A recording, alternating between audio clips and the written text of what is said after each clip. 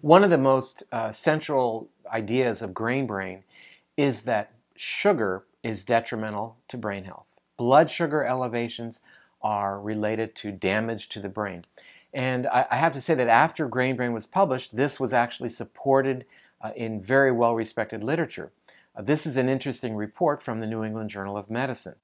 This study was published August 8, 2013, called Glucose Levels and Risk for Dementia. And what they did was really interesting. They had about 2,000 people at the beginning of the study that did not have dementia, average age about 76 years. They followed them for about seven years.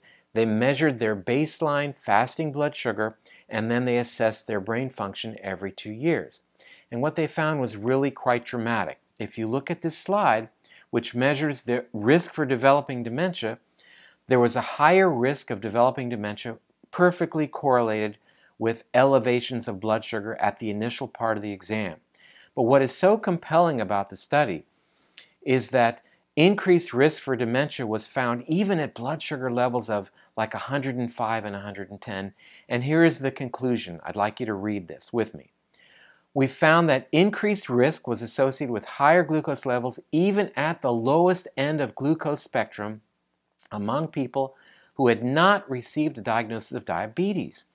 In conclusion, our data provided evidence that higher glucose levels are associated with an increased risk of dementia.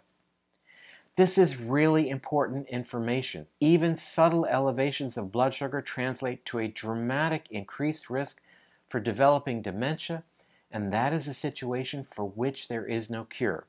Now, the surefire way to keep your blood sugars from becoming elevated is to cut back on your sugar consumption as well as your carbohydrate consumption. I'm Dr. David Perlmutter.